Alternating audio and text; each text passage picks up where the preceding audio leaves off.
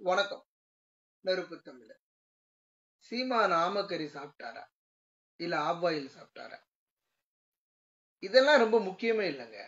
அவர் சீமான் ஆமக்கறி சாப்பிட்டாலும் சரி ஆப்பாயில் வாங்கி சாப்பிட்டாலும் சரி சிக்கன் பிரியாணி சாப்பிட்டாலும் சரி மட்டன் பிரியாணி சாப்பிடலைனாலும் சரி இது ஒரு முக்கியமான ஒரு விடயம் அல்ல. இன்று இருக்கக்கூடிய பிரச்சனைகள் தான் முக்கியம். இன்னைக்கு ஆயிரத்தி எட்டு பிரச்சனை இருக்கு. இதையும் நம்ம பேசுவோம். இதையெல்லாம் விட்டுட்டு சீமான் வந்து ஆஃப் ஆயில் சாப்பிட்டாரு ஆம்லேட் சாப்பிடல ஆம சூப்பு சாப்பிட்டாரு ஆம வறுவல் பண்ணி சாப்பிட்டாரு. இவைகள் எல்லாம் தேவையில்லாத ஒரு பேச்சாக நான் நினைக்கிறேன். அப்புறம் சீமான் போய் புகைப்படம் எடுத்தாரு இல்ல புகைப்படம் எடுக்கல. அவர் புகைப்படம் எடுத்தாலும் பிரச்சனை இல்லை எடுக்கலைனாலும் பிரச்சனை இல்லை. இப்ப என்னதான் உங்களுக்கு எல்லாம் பிரச்சனைன்னு எனக்கு ஒன்றும் புரியல. இதுல என்ன இருந்தாலும் இல்லைனாலும் எந்த விதமான பிரச்சனைகளும் வரக்கூடாது இப்ப சீமான் என்கின்ற ஒருவன் அது உண்மையை சொன்னாலும் பொய்ய சொன்னாலும் இன்றைக்கு இருக்கக்கூடிய தமிழ் தேசியத்தினுடைய ஒரு மிகப்பெரிய ஒரு ஒரு ஒரு ஒரு உருவெடுத்த ஒரு பிம்பம். இதுல மாற்று கருத்து அல்ல. இப்ப தமிழ் தேசிய புரட்சி என்பது ஆமக்கறி சாப்பிட்டோ ஆமக்கறி சாப்பிடாமலோ உருவாயிடுச்சு. இனிமே தமிழ் தேசிய புரட்சியில வந்து நம்ம கேள்விகள் கேட்பதோ இல்ல அவர் ஆமக்கறி சாப்பிட்டாரு ஆபாயில் சாப்பிட்டாரு இல்ல படம் எடுத்தாரு இல்ல படம் எடுக்கல இவைகள் எல்லாம் என்னை பொறுத்த வரையில ஒரு தேவையில்லாத ஒரு விடயம் தான் ஏன்னா அவர் கல்யாணம் பண்ணிக்கிறேன்னு சொன்னாரு பண்ணிக்கலைன்னு சொன்னாரு அப்புறம் இந்த பொண்ணு பின்னாடி போனாரு அந்த பொண்ணு பின்ன பொண்ணு பின்னாடி போனாரு. இதையெல்லாம் என்னை பொறுத்த வரையில தனிநபர் மனிதனுடைய வாழ்வை எடுத்துக்கிட்டீங்க அப்படின்னா இன்றைக்கு தமிழகத்துல யாருமே ஆட்சி அமைக்க முடியாது. கலைஞரா இருக்கட்டும் ஜெயலலிதாவாக இருக்கட்டும். ஜெயலலிதா அம்மாவுக்கு திருமணம் ஆகாமவே அம்மாவாக்கினீங்க. திருமணமே ஆகாம அந்த அம்மா அம்மான்னு சொல்றீங்க. அந்த அம்மாவினுடைய எதிர்காலம் அதுக்கப்புறம் அந்த அம்மா அந்த அம்மாவினுடைய ஆரம்ப காலகட்டம் ஒரு திரைப்பட நடிகா இருந்தது. அதுக்கப்புறம் எங்க போய் எங்க போய் எங்க போய் எங்க போய் சொப்பன சுந்தரியை யாரு வச்சிருந்தா உங்களுடைய நகைச்சுவை தான்? இறுதியில் அது ஒரு பக்கம். கலைஞரனுடைய இதை எடுத்துக்கிட்டீங்க அப்படின்னா கலைஞரனுடைய வாழ்க்கை வரலாறை எடுத்துக்கிட்டீங்க அப்படின்னா கலைஞர் எத்தனை கல்யாணம் பண்ணாரு என்னென்ன செஞ்சாரு எப்படி எப்படி வாழ்ந்தாரு அப்ப அவரெல்லாம் முதலமைச்சராக நீங்க ஏற்றுக்கொண்டு அம்மையா ஜெயலலிதா அவர்களை வச்சிருந்தீங்க. அதற்கு அடுத்து இப்ப இருக்கக்கூடிய காலகட்டங்கள்ல ஐயா ஸ்டாலின் அவர்களை சொல்றீங்க. ஸ்டாலின் அவர்கள் வந்து எனக்கு தெரிஞ்ச வரைக்கும் நக்மா வச்சிருந்தாருன்னு சொன்னாங்க. ஐயா அது உண்மையா பொய்யான்னு தெரியல கேஸ் யூஸ் பண்றாரு எனக்கு தெரியல. வந்த உண்மை கதைகளை சொல்றேன். நான் வளர்ந்த காலங்கள்ல ஐயா ஸ்டாலின் வந்து நக்கமா நக்கமா வச்சு நக்மா வச்சிருந்தாரு. அதுக்கப்புறம் செய்தியாளர் சந்திக்கிற அந்த அம்மா பேர் என்ன? பாத்திமா. அவங்கள வச்சிருந்தாரு. இப்படி எல்லாம் சொன்னாங்க.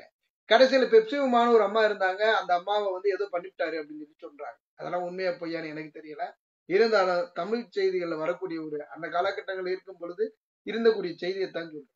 தனிப்பட்ட முறைகள்ல ஒரு மனிதனுடைய தனிநபர் ஒழுக்கம் வர வேண்டும் என்று நீ நாம் பார்த்தால் அது இந்த உலகத்துல யாருமே ஆட்சி அமைக்க முடியாது. தனிநபருடைய வாழ்க்கை என்பது ஒரு எப்பொழுதுமே அதை நாம அலசி ஆராயும் பொழுது அது ஒரு சிறந்த ஒரு ஒன்றாக அமையாது. எல்லாருமே வாழ்க்கையில புலிகள் போன்று ஒழுக்கமாக வாழ்ந்து விடுவோம் என்பது இன்றைய இருக்கக்கூடிய சரித்து வாழ் வாழ்வினுடைய நடைமுறை வாழ்வில் நடைபெ நடைபெறுவது என்பது ஒரு சவாலானதுதான்.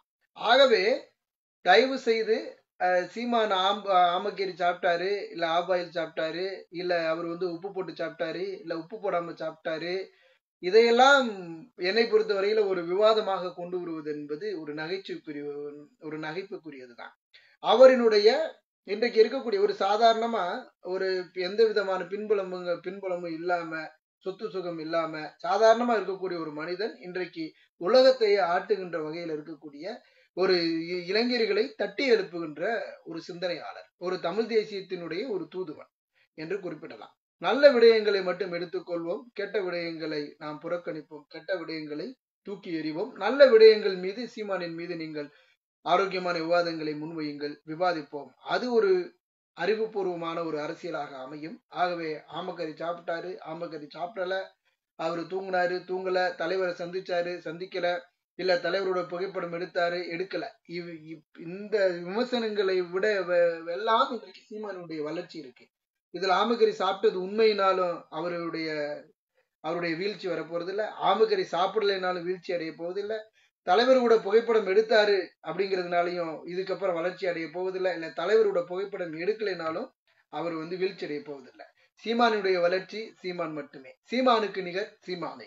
தமிழ் தேசியத்தினுடைய ஒரு சீமானினுடைய வளர்ச்சி என்பது வரவேற்கத்தக்க ஒரு ஒன்றாகத்தான் நாம் பார்க்க வேண்டுமே தவிர நல்ல விடயங்களை எடுத்துக்கொள்வோம். கெட்ட விடயங்களை பார்க்கப்படுகின்ற பொழுது ஒவ்வொரு மனிதனுடைய தனிப்பட்ட ஒரு வாழ்வியலில் ஒழுக்கமாக அம்மையா ஜெயலலிதா அவர்கள் இருந்துள்ளாரா? ஐயா கலைஞர் அவர்கள் வாழ்ந்துள்ளாரா? இவர்களுடைய வாழ்க்கையெல்லாம் நீங்கள் தனிப்பட்ட முறைகளில் நீங்கள் பார்த்ததுண்டா? என்கின்ற ஒரு கேள்விகளையும் நான் எழுப்புகின்றேன். நன்றி வணக்கம். நெருப்பு தமிழர்.